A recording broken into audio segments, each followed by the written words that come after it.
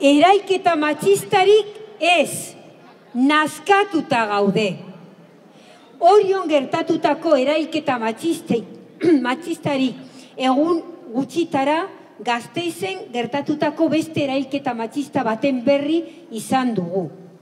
Euskal Herriko emakumeon mundu martxatik, gure herrian aurten gertatu den bigarren erailketa matxista hau, gogor salatu nahi dugu.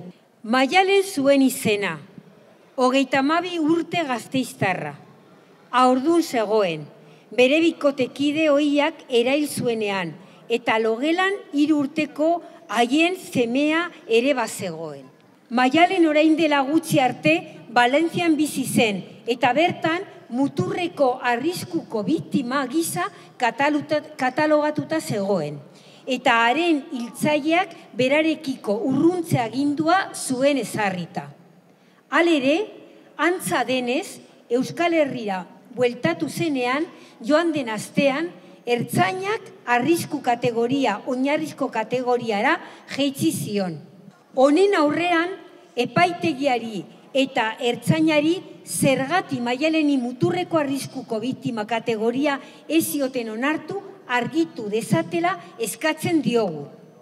Beste behin ere, agerian geratzen dira, haien mugak eta indarkeria matxistarekin bengoz amaitzeko estrategia integral oso baten falta daudela. Jarraitzeko, lehenik eta behin gure zamina eta elkartasuna adierazi nahi diogu maialen familia eta lagunei.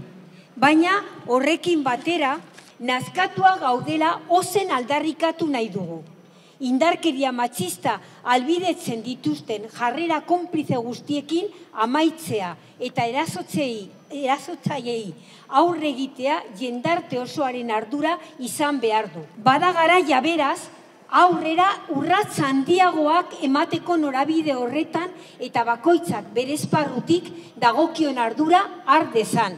Indarkeria matxista ez duelako etenik izango gizartea egituratzen duen matxismoarekin amaitu arte.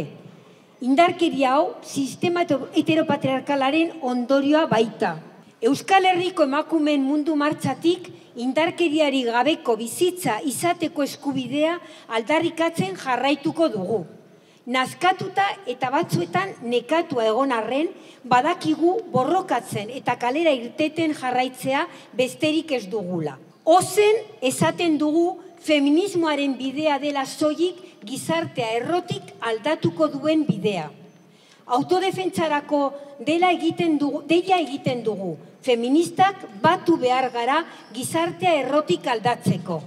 Bizitza bizigarrien aldeko apostua erradikal bat egiten dugu.